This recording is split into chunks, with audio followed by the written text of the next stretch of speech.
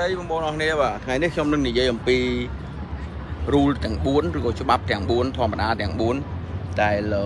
ជាច្បាប់មួយដែលអាចជំរុញឲ្យយើងទៅមុខមួយកម្រិតទៀតបាទទី1គឺខ្ញុំនិយាយអំពីបាទធានបទទី1គឺច្បាប់ទី1គឺការក្រោកឡើងពេលព្រឹកត្រូវធ្វើកិច្ចការណាដែលសំខាន់ហើយពិបាកមុនគេបាទថ្ងៃនេះបែកញើល្អដោយសារហាត់ប្រានបាទខ្ញុំហាត់ប្រានអញ្ចឹងនៅពេលដែលក្រោកឡើងពេលព្រឹកគឺយើងធ្វើកិច្ចការងារណាដែល គិតថាជាការដែលពិបាកខ្លាំងជាងគេជាទូទៅមនុស្សមួយចំនួនគឺរកការងារណាស្រួលស្រួលធ្វើមុនប៉ុន្តែយើងត្រូវបញ្ចប់អាការងារណាដែលពិបាកការងារណាដែលយើងបានធ្វើហើយវាពិបាកមុនគេបាទការងារដែលលំបាកលំបាកយើងត្រូវងាកមកមកមកមកមើលអាហ្នឹងឬមកសម្រេចកិច្ចការដែលពិបាកមុនគេសិនបាទពិបាកផុតព្រោះយើងសល់ពេលបើមិនបើយើងព្រលឹមឡើងយើងក្រោកឡើងធ្វើតែការងារស្រួលស្រួលដល់ម៉ោងដែលត្រូវបានធ្វើការងារលំបាកស្រាប់ចុងម៉ោងបាត់ទៅហើយ ចឹងបងប្អូនអាចកត់ទុកទៅថាតើស្អែកឬក៏ថ្ងៃនេះយើងត្រូវធ្វើអ្វីខ្លះ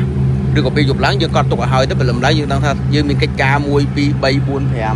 7ចឹងទៅហើយការងារណាដែលយើងគិតថារៀងពិបាកជាងគេចឹងធ្វើវាមុនទៅហើយបាទពីព្រោះវានៅសល់ពេលបាទបើមិនយើងធ្វើក្រោយគេវា last minute ដូចយើងទៅប្រឡងចឹងណានៅប្រឡងនៅពេលដែលយើងធ្វើធ្វើវា last minute last minute មានថាអាការងារបាក់បាក់ត្រូវគិតយើងអត់បានគិតOK ចូលដល់ចំណុចទី2បាទចំណុចបងមិនទាន់ទេបាទមិនទាន់សូមដាក់មេដៃម្នាក់មួយបង បាទទាន់ OK បាទដាក់មេដៃបងបាទចំណុចទី2គឺបាទយើងធ្វើការឲ្យខ្លាំងជាងថ្ងៃម្សិលមិញពាក្យនេះខ្ញុំជឿថាអ្នកណាអ្នកណាក៏ធ្លាប់ឮក៏ឮគេនិយាយដែរធ្វើការខ្លាំងជាងថ្ងៃម្សិលមិញប៉ុន្តែយើងអត់បានដាក់ផែនការច្បាស់លាស់យើងអត់បានធ្វើទេអញ្ចឹងធ្វើការឲ្យបានខ្លាំងជាងថ្ងៃម្សិលមិញឧទាហរណ៍ថាម្សិលមិញយើងបានធ្វើការងារមួយអញ្ចឹងថ្ងៃនេះធ្វើមិនបានមួយកន្លះឬក៏2ឬក៏3អញ្ចឹងទៅឬក៏ម្សិលមិញយើងបានធ្វើ10ថ្ងៃនេះធ្វើបាន11អញ្ចឹងទៅអញ្ចឹងការងារអ្វីក៏ដោយយើង challenge ជាមួយខ្លួនយើងថ្ងៃម្សិលមិញ បាទបើមិនថ្ងៃម្សិលមិញយើងអត់បាន challenge ជាមួយអត់អត់អីគាត់និយាយបើសិនបើថ្ងៃម្សិលមិញយើងអត់បាន challenge ជាមួយនឹងខ្លួនយើងថ្ងៃម្សិលមិញទេយើងអត់មានអ្នកណាក្នុងការប្រៀបធៀបទេកុំប្រៀបធៀបខ្លួនឯងជាមួយអ្នកដទៃកុំប្រៀបធៀបកុំតូចចិត្តជាមួយខ្លួនឯងមួយអ្នកដទៃប៉ុន្តែអ្វីដែលជាការប្រៀបធៀបល្អបំផុតគឺប្រៀបធៀបខ្លួនយើងនៅថ្ងៃម្សិលមិញតើម្សិលមិញយើងបានធ្វើអីហើយថ្ងៃនេះយើងបានធ្វើអីខ្លះល្អជាងថ្ងៃម្សិលមិញនេះគឺជាចំណុចទី2ហើយចូលដល់ចំណុចទី3កុំឲ្យខ្លួនយើងពន្យាពេលហាត់ប្រាណលើសពី3ថ្ងៃ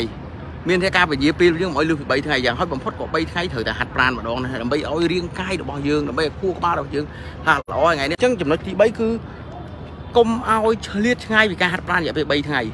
យ៉ាងហោចបំផុតក៏3ថ្ងៃកុំឲ្យ delay លើស3ថ្ងៃទោះបីយើងអត់ស្រួលខ្លួនឬក៏ទោះបីជាយើងសុំទោះថាយើងជប់លៀងច្រើនយើងស្វឹងចុះយើងនិយាយស្រួលដល់ក៏យើងត្រូវតែថ្ងៃទី3ត្រូវតែក្រោកឡើងដើរបន្តិចបន្តួចហាត់ប្រាណពីព្រោះកតាខ្លួនប្រាណហ្នឹងហើយវាធ្វើឲ្យប៉ះពាល់ដល់កតាខួរក្បាលរបស់យើងនៅពេលដែលយើង ទ្រក់ទ្រក់យើងស្ញយស្ញយឬក៏យើងខ្ញុំជួយនិយាយពាក្យស្ញយស្ញយនេះប្រហែលជាមិនជាភាសា